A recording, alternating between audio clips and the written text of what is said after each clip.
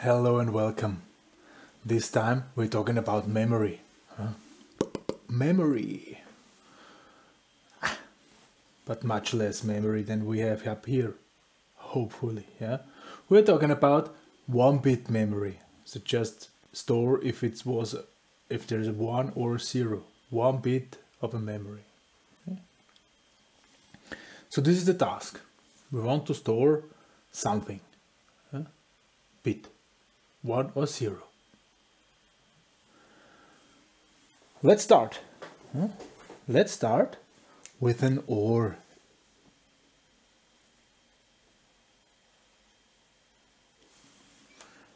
Here we do have our OR. Hmm? And we will use this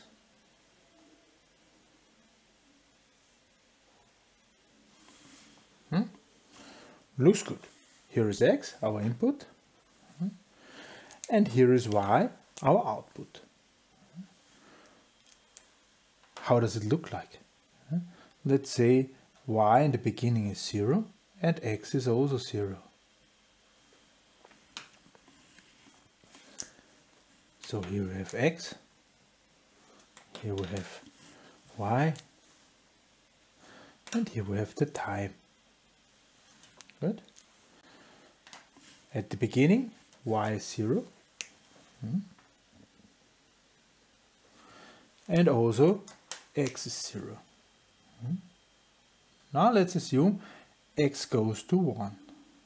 Hmm. Then y goes to 1. Maybe a little bit later, but it will go to 1. Hmm. Then both are 1. Hmm.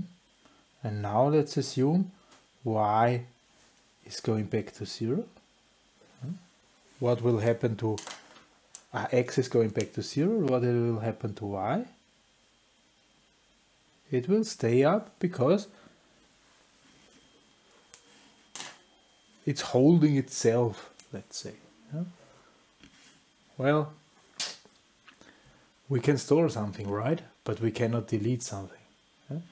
So this is a memory which is not deletable. Maybe desirable, but usually not. We have to somehow be able to open this line here. Do not every time store and we want to open this because then there would be why would go away. How can we do this? Well, I think this with the with this OR, this was already a pretty nice idea. But down here, I need something more. huh? I need a new element. So there is an OR. Mhm. The output is still y. Hmm. The input here is still x. This time I write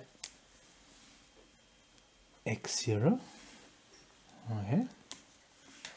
And down here, I'm not going directly back. I'm going in here.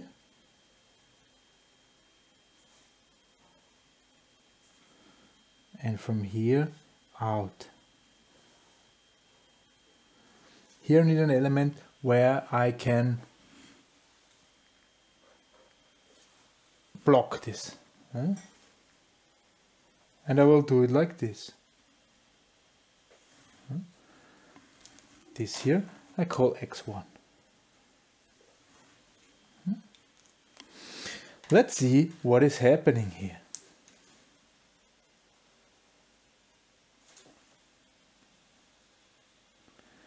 Time t. Here we have x0, we have x1, and of course we have y. So let's assume everything is 0. huh? Let's assume x0 is going to 1 and is then going away again. What is happening to y?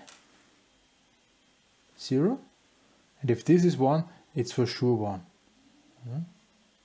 If this is 1, we go here if this is 0, it this will be 1 and the, the AND is fulfilled and it will hold itself, so it will stay up as long as x1 is 0. Hmm? And then in some point in time, x1 is raised, it's going away afterwards. Hmm? And exactly at this point in time, where this is getting 1, yeah, this is 0, the AND is no longer fulfilled, and y will drop. Okay? Memory. This is a memory. I can set it. So this is usually called this is usually called a set line. I can delete it. So this is usually called the reset line. Okay. And I can watch what is inside the memory. So this is usually called Q. Dropped my pen. This is usually called Q. This is a memory. We said, dropped another pen. What's happening? What day is it? So, what is it? Memory. And we said, yeah, okay, memory. We usually do NAND or NOR technology. Can this be built in, I don't know, NOR? Can we do this? And I tell you, of course.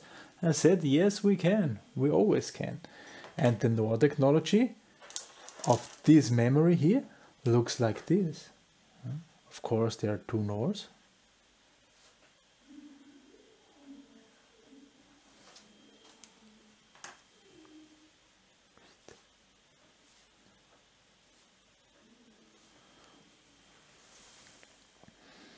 There's one set line, there's one reset line.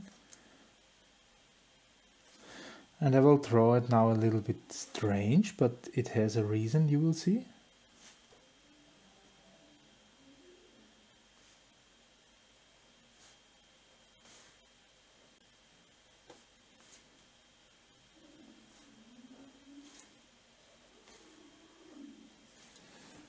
This.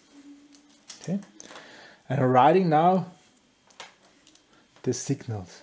Okay. This is the set line. Hmm. This is the reset line. This is the memory content.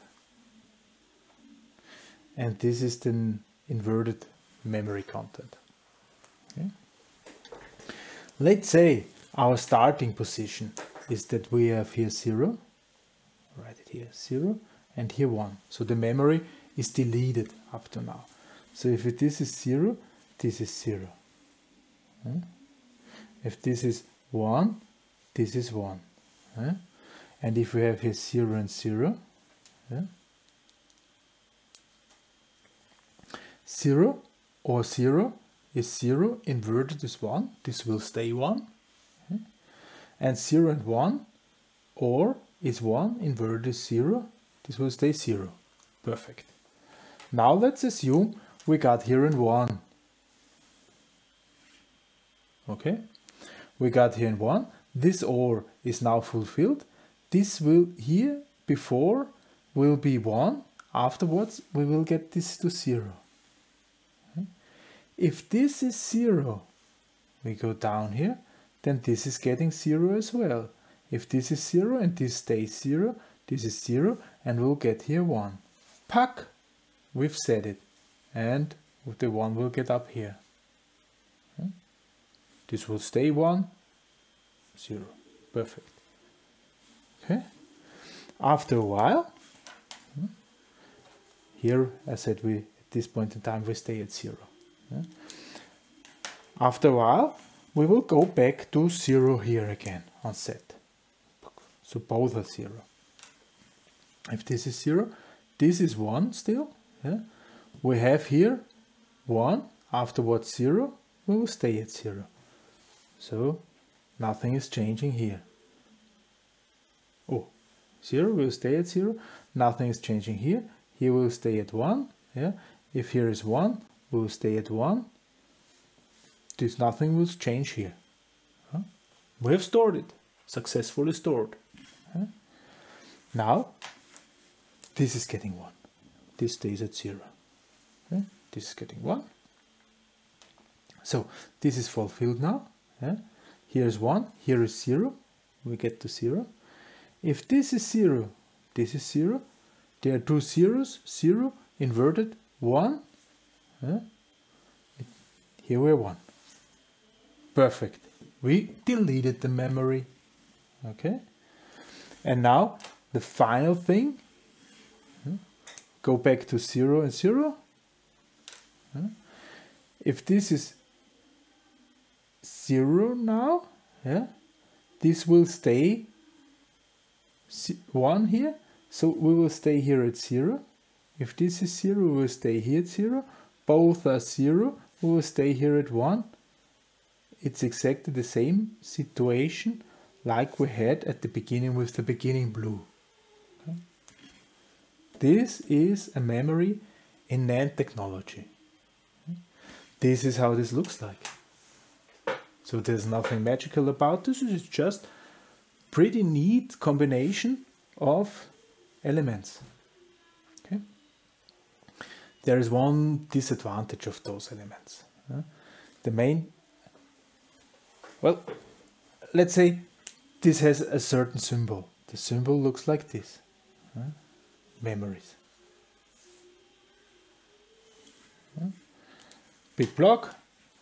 Hmm? There is a set, there's a reset, there's a Q and a Q squared. That's it. That's a so-called latch. What is inside, if it's an AND, or NOR or AND, it's okay. Yeah? Latch memory, symbol. Major disadvantage of these things is that if both are there, yeah, then the behavior is strange. Yeah?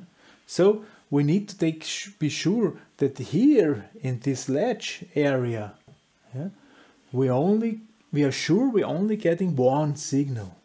Okay, so either set or reset, because if both signals are there, the behavior depends on which technology is used. Eh? Can be strange. Okay? I show you how we can fulfill this. Yeah? Show you how we can fulfill this. So there is, put this away there, zack. There is this latch memory with my set and reset lines. And let's say I want to, to have that the set line has priority. If both are there, I want to have the set line priority. Hmm? Then I make this thing here. Hmm? I make an end. And here, the reset input I only let pass if not at the same time the set line is on. Okay, so if the set line is on, this will be zero and reset cannot pass. If both are there, the latch only gets the set and not the reset. So here S priority. priority. S is priority. Let's draw this. How this looks like if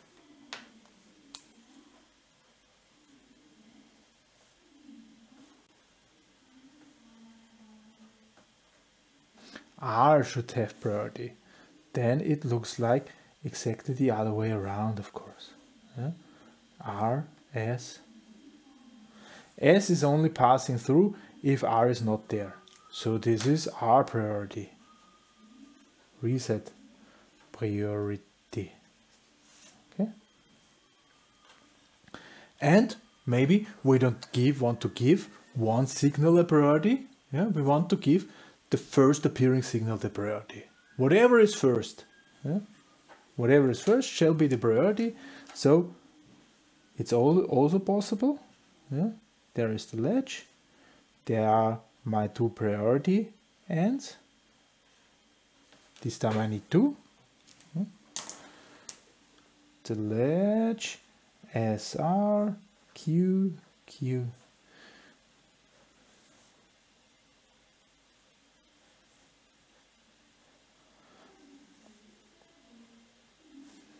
S R and these are two ANDs and I also need to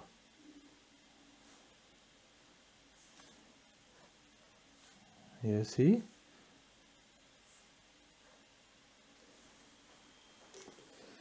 here the first coming signal has priority. If S was first will it will be here and will block a later R as long as S is there. If R was first it will come here and will block a later S. So here at the latch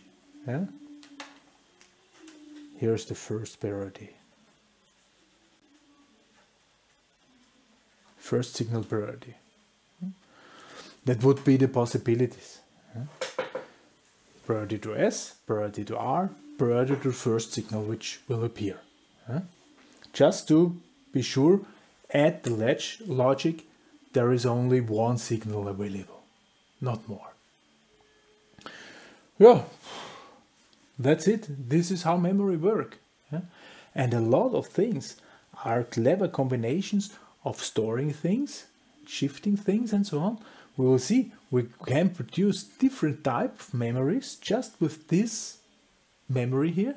Yeah, There will be flip-flops, there will be counters and so on. Yeah, this will be done in the next videos. For now, thank you very much for listening goodbye.